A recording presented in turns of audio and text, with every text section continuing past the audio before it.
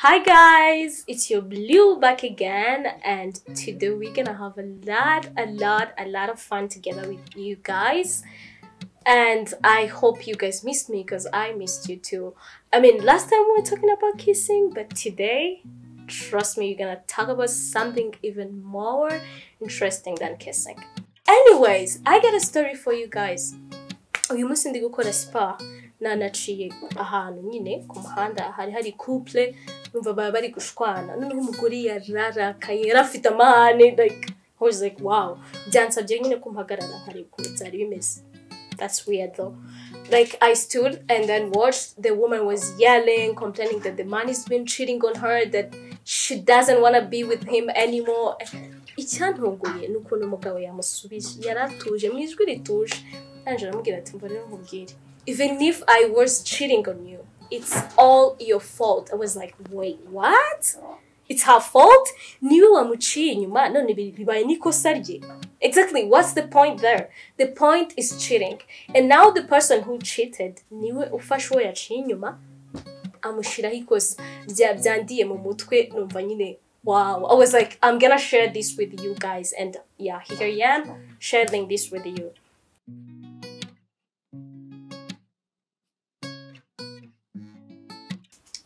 anyways guys this is blue back again. Today we're gonna talk about cheating. I'm gonna repeat this. Today we're gonna talk about cheating. Gucana inyuma ndetse n'ibibazo byose biva mu gucana inyuma impamvu zituma abantu bacana inyuma uko wakitwara mu gihe waba waciwe inyuma cyangwa se waciye uwo muri kumwe inyuma. Cheating rero ni iki? In english bavuga ngo it's a state of being emotionally or sexually unfaithful to the person muri muri relation.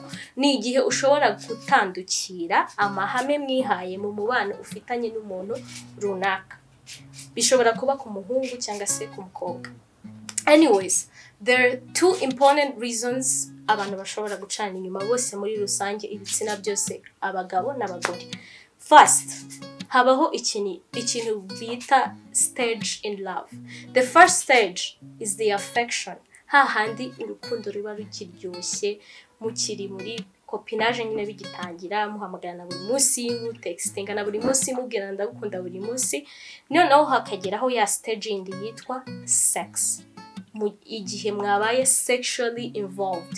Mu gihe mwageze mu- yindi etape yo kuba mwakora ibirenze kwampasanya ku itama gusa ibirenze guhoberana noneho bikageraho mushobora kugira imibonano mpuzabitsina. And then the last part of that stage is called boredom. Igihe hagati yanyu mwembi babiri umwe muri mwe ashobora kurambirwa undi. Ibyo rero bibaho iyo byagenze gute. Bibaho mu gihe wagiye muri relation n'umuntu noneho ukayihutisha birenze ibikenewe. This this time we tend to fall in love with people and then we just tend to make things turn into a rush? Like ukajya muri relation n'umuntu mugakundana icyumweru kimwe ibyo gukundana byo guhana bizu ku itama bikarenga mukageraho mwambasanya nyine like a french kiss bikageraho muhita having a sex in one week what do you expect from that person? Ibintu byose yari afitiye amatsiko yo kubona byose amatsiko aba yashize kuko yabibonye.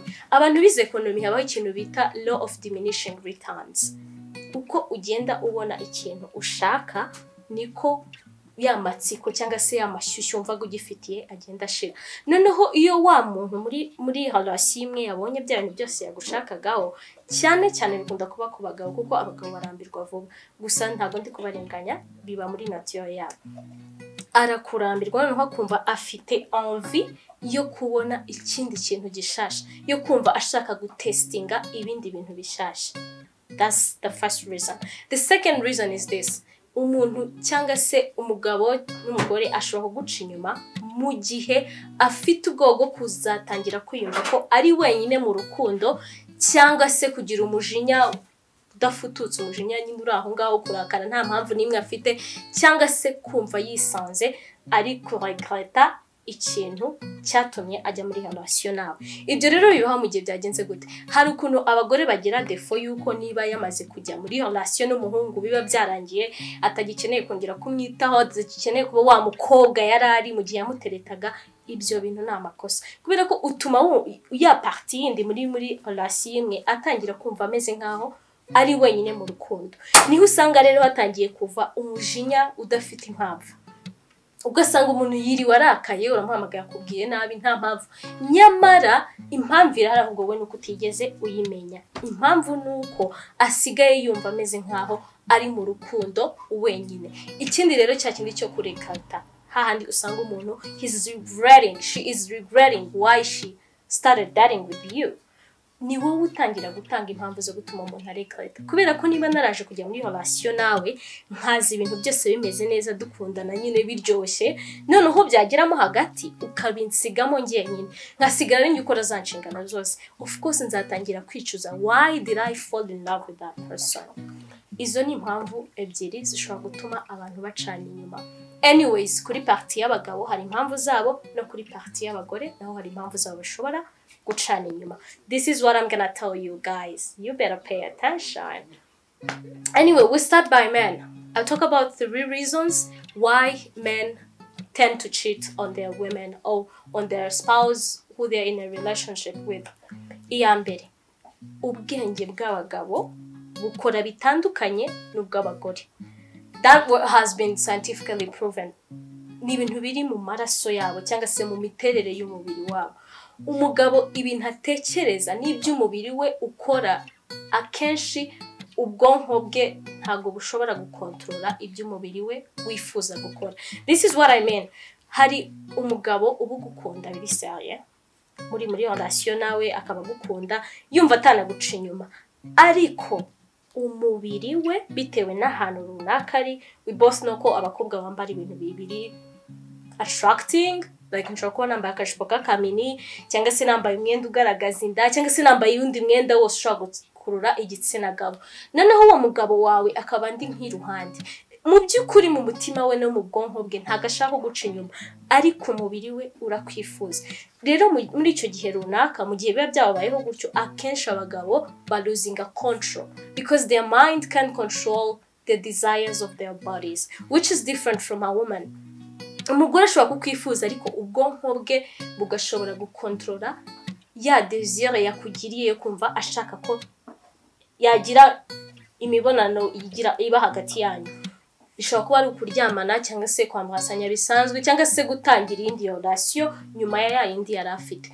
Umugore ashobora kubikontorora ariko umugabo nta bushobozi na buke agira bw'uko ubwonko bwe bushobora gukontorora ibyifuzo by'umubiri we. Second reason why men tend to cheat. Abagabo kenshi they tend to focus on loyalty. Iyo umugabo mugiye muri relation yumva ugomba kumugandukira wese. Ikindi kandi abagabo ba- bakunda casual sex. I'm not trying to offend anyone here it's the truth.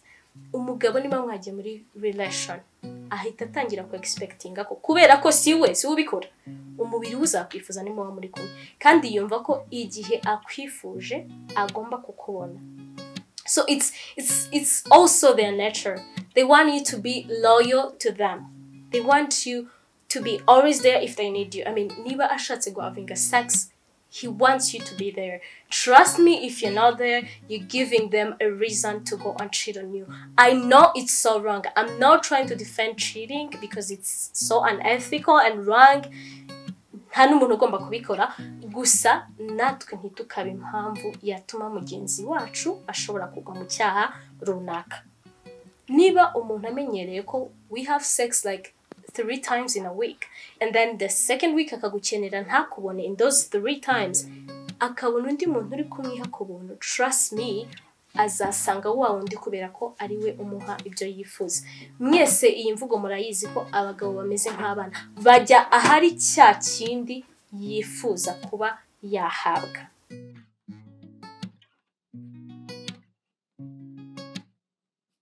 So guys impamvu ya gatatu ishobora gutuma umugabo cyangwa se abagabo bacana inyuma ni iyi ngiyi. They really tend to love having the first experience. Bakunda bahorana ya nyota yo kumva bashaka kumva ikintu gishasha. I mean having a new experience. Like niba yari ari kumwe nawe muri relation aba yumva hari igihe kigera noneho akumva ashaka kumva ukuntu bimeze wenda wenda kuba muri relation nshyashya n'uwundi muntu runaka. Ibyo rero iyo bimaze kugenda gutyo ni hahandi usanga atangiye gushakaho udufuti tudafututse. Waza kumureba utamuhamagaye bikamurakaza wamuhamagara wenda nka saa yine z'ijoro ngo ndarushye kubera icyo umpamagara agatangira kuzajya nyine gushakaho amafuta adahari. Nyamara mu kuri ni uko ashaka kugira experience nshyashya mu rukundo irenze iyo yari afitanye nawe. Ibyo rero bigatuma atandukana nawe kugira ngo ajye kumva ukuntu bimeze kuba mu yindi relationship nshyashya n'uwundi muntu. That was all that men would do cyangwa se impamvu zatuma umugabo ashobora guca inyuma. Now we're back on women. Iyi niyo mpamvu rero yatuma umugore aguca inyuma wowe nk'umugabo. Iya mbere umugore ashobora guca inyuma kubera ko yumva ko rwa rukundo wamuhaga rutagihari. Abagore bakunda nyine ngo uhore uhozeho. Ntumuterete ngo birangire kubera ko yamaze kukwemera cyangwa se ko mwagiye muri relationship ah ah ashaka ngo niba waramwandikiraga ngo ndagukunda buri mu gitondo ntubihagarike. Iyo ubihagaritse gatoya rero yumva urukundo rwose rwarangiye. Ni hahandi usanga yagiye gushaka iki? Wa wundi uzajya umukorera bya bindi yifuza gukora. Iyi ikaba impamvu ya mbere ashobora guca inyuma. Impamvu ya kabiri abagore bagira insecurities. Hari ukuntu atangira kwiyumvamo ko atakiri mwiza ko atakiri sexy ko ugiye kumuca inyuma ni ibintu wari kwiremera mu mutwe we we ntabyo wigeze umubwira. Mukurira namukunda uracyabona ari mwiza nk'uko yari ameze nyine mu gihura. Ariko we mu mutima we afite insecurities. Kubera ko wenda yakubonye usuhuza umukobwa mwiza wambaye ijipo ngufiya w'inzobe. Noneho we yaba ari igikara kandi yambaye ibintu birebire agatangira kumva wow I'm no longer beautiful. Ubu ngubu yagiye yatangiye gukunda abakobwa b'inzobe n'ibiki byose. Noneho bikaba ngombwa ko ajya gushaka undi mugabo hanze kugira ngo amwibutse ko ari uw'agaciro ko akiri mwiza nk'uko byari bimeze mbere. Impamvu ya gatatu rero ishobora gutuma umugore aguca inyuma isa nanone nk'iy'umugabo abagore bararambirwa. Umugore ararambirwa.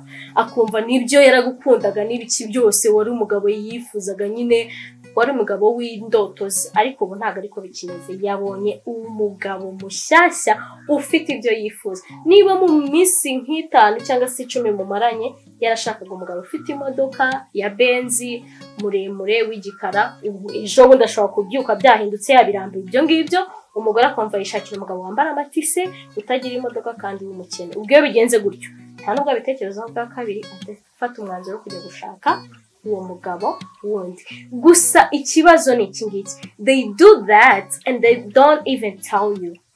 I'm not blaming anyone here kubera ko biravuna. Bisaba ubutwari kuba watera intambwe. Ugende wegere mugenzi wawe ngo umubwire ngo nubwo twari turi muri relation njye nawe ndumva mbirambiwe tubivemo. Icya mbere uba ufite ubwoba bw'ukuntu bari burire. Hariyo umuntu ubwira ngo njye nawe turatandukanye. Akakubwira ngo ndiyahura. Nawe uri umuntu muzima ufite umutima ntabwo ntabwo wabasha gutuma umuntu yiyahura. Ubu urumva uba oburije kugumana nawe muri iyo relation. Iyo bigenze gutyo rero ni hahandi usanga uri muri iyo rela- iyo relation n'uwo muntu hama noneho ukajya ujya no gushaka abandi ku ruhande. Muzi ikintu kibabaza kurushaho? Cheaters are always complaining ngo naguciye inyuma ngo kubera ko yari amafuti yawe. Guys you need to stop that. Umukobwa cyangwa se umuhungu wowe mukobwa aho uri hose uri kunyumva cyangwa se uri kundeba ukaba ukora ibyo bintu ni amakosa and you need to stop that. That girlfriend uri kubwira ngo ni amakosa y'uko wamuciye inyuma. She's innocent. It's you who can be faithful to the person and to the relationship that you decided to cheat on her. But she has no part in all that. Actually ntangira nababwiye inkuru nabonye ndi kuva muri spa mu gitondo. Byandakaje cyane. Like i had to get involved nagiye ndabegera i told the man i was like hey wait come again? What did you just say? Ngo ni amakosa yo kuba waramuciye inyuma. Like seriously ngira ikintu kimwe yakoze cyatuma umuca inyuma. Do you know what he told me guys? I was like wow. He just told me ngo he refused ngo she refused having sex with me. I was like wait what nimba yanze ko muryamana uyu munsi. Iyindi nshuro zose yarabikoraga mukaryamana kuki utatekereje ko hari impamvu yatumye yanga gukora ibyo bintu runaka wamusabye? Ahubwo ukihutira kujya gushaka abandi bantu bagufasha bezuwe zawe kubera ko wumva wowe ubikeneye ntuha agaciro amarangamutima you cheaters. You people that cheat. Stop using the other part as an excuse because there's no excuse. There's no excuse that excuse someone who cheated on the other. wagiye gucana inyuma kubera ko uri umubeshyi uri umugambanyi uri umuntu udatekereza na gato utita ku byiyumvo bya mugenzi we ahubwo ukuri ni uko nguko nta nubwo wigeze ukunda uwo muntu n'isegonda na rimwe kubera ko iyo ukunda umuntu icya mbere witaho ni ibyishimo byawe wowe ucana inyuma warangiza wamara gucana inyuma ukabwira mugenzi wawe ngo naguciye inyuma ngo kubera ko utankoreye ibi. Izo bazita excuse zidafatitse. Nujya ucana inyuma cyangwa se nubona uwo muri kumwe yakurambiye jya ugenda umwegera umubwire ngo ibyo turimo ndabona bitagishobotse noneho mbabarira dutandukane. Kubera ko biroroshye you have every right to stop what you started okay? Instead of cheating hama nawe rero waciwe inyuma. Gucibwa inyuma bivuze kurangira ku isi it's just cheating I know it hurts. I know it breaks your heart. I know it's hard to press on the reset button, but you have to because that nigga or that lady is ruining your life. Uko ukomeza kwifungirana muri bya bitekerezo by'uko yaguciye inyuma. Ari kugutsinda kuko yabikoze kugira ngo akubabaze. Ibaze niba umuntu yaje kukubita kugira ngo akubone urira noneho uka- ukarira mu maso ye. Bivuze ngo umuhaye amahirwe yo kumva yatsinze. Ariko iyo umuntu yaje gukubita afite gahunda yo kukuriza ntakurize yumva abaye nk'aho ari ikigoryi yumva aluzinze because his purpose he did not achieve it. Wa muntu waguciye inyuma yashakaga ko ubabara. Yakuriyetinze bad thing in you. But if you lock yourself there if you don't get over it no matter how hard it is you're letting that person win kubera ko umuntu umwe kubera ko umuhungu umwe yaguciye inyuma kubera ko umukobwa umwe yaguciye inyuma ntabwo bisobanuye ko abantu bose basigaye bazaguca inyuma. Hariho wa muntu uzaza akaza ari ready ku appreciating what you got and he will be your world and you will be his world or she will be your world and you will be her world. Not everyone is after making your heart bleed. Someone is there to mend your heart. Someone is the right choice to make. All you have to do is give them a chance and give yourself a chance to get over that thing and forgive.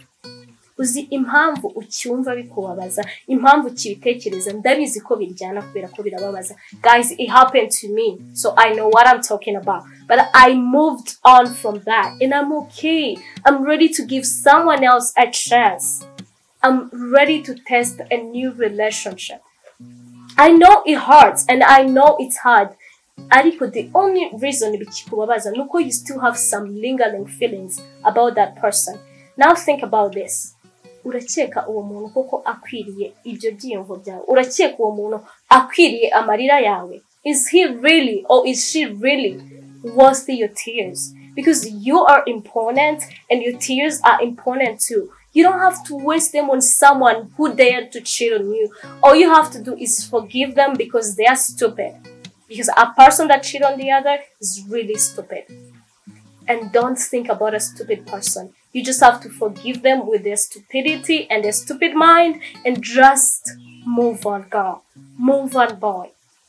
I'm here to tell you that you have to move on no matter how hard it is. You have to move on and give someone else a chance. I don't care how long it's gonna take, but you gotta give someone else a chance and give yourself a chance to test love again, to test how it feels to trust someone wholeheartedly. You gotta go outside the world and show the world that you're stronger than that person that dared to cheat on you. You gotta show that person that he lost because he was strong enough to break you, but he did not really shatter your heart. Because guess what? You're stronger than what you think.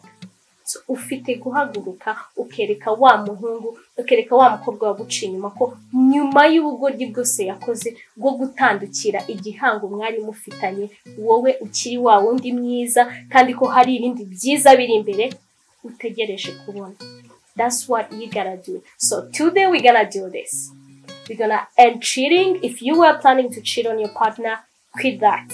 Go to them and tell them that hey i'm no longer feeling emotionally or sexually connected to you so i want this to stop. I know it's hard for you to tell that person but try it genda ubabwire aho kugira ngo uzababarize umutima wamuciye inyuma.